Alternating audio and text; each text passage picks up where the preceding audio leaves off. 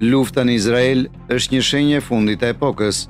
Lufta në Izrael dhe veçanërisht beteja për Jeruzalemin i dërgon ata që i njohin Biblat tek vargjet kryesore të Biblës. Rivendosja e Izraelit në vitin 1948 ishte një ngjarje kyçe në përmbushjen e profecisë së Biblës. Profeti Ezekiel ka shkruar mbi 2500 vjet më parë, foli për një rivendosje të ardhshme të Izraelit, duke thënë: Kështu thotë Zoti, Me siguri unë do t'i marr bijtë e Izraelit nga kombet kudo që kanë shkuar, do t'i mbledh nga çdo anë dhe do t'i çoj në vendin e tyre. Në vitin 70 pas Krishtit, Izraeli u shpërnda midis kombeve dhe hebrenjtë nuk kishin atdhe për 2000 vjet, deri në vitin 1948, kur u bënë një komb brenda një dite. Ja çfarë tha Jezusi për atë ngjarje. Dhe ata do të bien nga tehu i shpatës dhe do t'i çojnë robër në të gjitha kombet, dhe Jeruzalemi do të shkelet nga johebrenjtë, derisa të plotësohet koha e johebrenjve. Që nga ajo kohë, ka pasur konflikt të vazhdueshëm midis muslimanëve dhe hebrenjve për Jeruzalemin dhe asnjë nga kombet nuk di se si ta trajtojë atë që zakonisht quhet kriza e vazhdueshme e Lindjes së Mesme. Dëgjoni Zakarian, shkruar mijëra vjet më parë. duke iu drejtuar krizës së Jeruzalemit. Atë ditë do të ndodhë që unë do ta bëj Jeruzalemin një gur shumë të rëndë për të gjithë popujt. Jezusi foli për luftrat si një shenjë e fundit të epokës. Dhe do të dëgjoni për luftra dhe thashetheme luftrash. Kujdesuni që të mos shqetësoheni, sepse të gjitha këto gjëra duhet të ndodhin, por fundi nuk ka ardhur ende. Do të ngrihet një komb kundër një kombi, dhe një mbretëri kundër një mbretërie, e gjithë kjo do të arrijë kulmin në betejën e Armagedonit. Zbulesa 16:16 flet për mbledhjen e kombeve në një vend të quajtur Armagedon, një term sinonim i një beteje të fundit kataklizmike. Armagedoni është lufta e madhe në fund, e mira e vërtetë kundër së keqes. Jezusi tha, Kur të shihni se këto gjëra kanë filluar të ndodhin, Shikoni lart dhe ngrini kokat tuaja, sepse shëlbimi juaj është afër. Pra, çfarë duhet të bëjmë? Së pari, duhet të sigurohemi se jemi të drejtë me Zotin.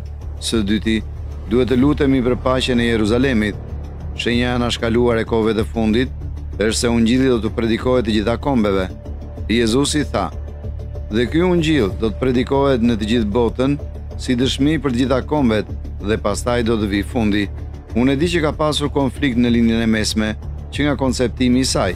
Jeruzalemi dhe Izraeli janë thelbësorë kur bëhet fjalë për profecitë e Biblës.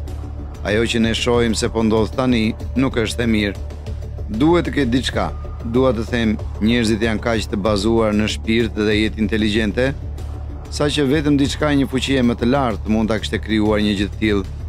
Pra, ju besoni në Zot? Po zotëri. A keni lexuar ndonjëherë Biblën?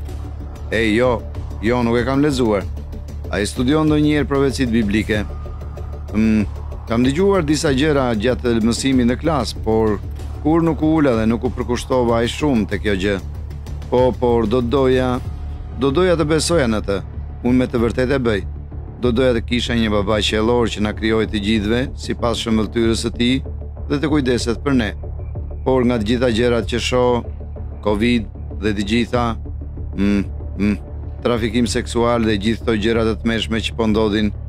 Kjo nuk është punë e mirë që po bën. E po, kjo tregon zemrën mëkatare të njerëzimit. Kjo është blasfemi. Përdorimi i emrit të shenjtë të Perëndisë si një fjalë mallkimi. Jezusi tha, nëse shikoni një grua dhe e dëshironi atë, kryeni kurorëshkelje me të në zemrën tuaj. Kjo është ajo që na ndodh. A ju kujtohet vargu biblik, Paga e mëkatit është vdekja? Është shumë i famshëm. Do të thotë se Zoti po të paguan me vdekje për mëkatet e tua, ashtu si një gjykatës shikon një kriminel që mendon se është një person i mirë, por ai ka kryer shumë vrasje.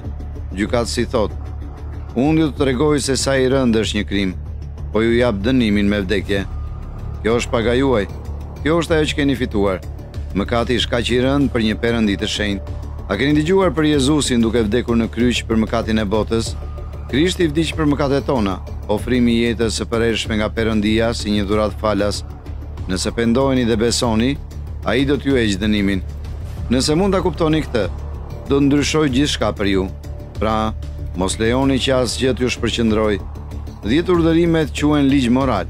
Unë dhe ti kemi shkelur ligjin. Jezusi e pagoi gjobën. Kështu ndodhi në atë kryq. Kjo është arsyeja pse ai tha, Ka përfunduar, pak para se të vdiste. Ai thoshte, U pagua plotësisht. Nëse je në gjyq dhe ke gjoba për shpejtësi dhe dikush tjetër i paguan, një gjykatës do të të lërë të shkosh edhe pse je fajtor. Ai do të thotë, Ti je i shlyer. Gjoba jote është paguar nga një tjetër dhe është e ligjshme. Epo, Perëndia mund t'ju heqë ligjërisht dënimin për t'ju lërë të jetoni, sepse Jezusi pagoi gjobën dhe ra në atë kryq gjatë vdekjes dhe ringjalljes së tij. Dhe gjithçka që duhet ta bëni është të pendoheni për mëkatet tuaja. Le të largohemi prej tyre vazhdimisht dhe të vendosim besimin tuaj. Dëgjohemi në videon tjetër.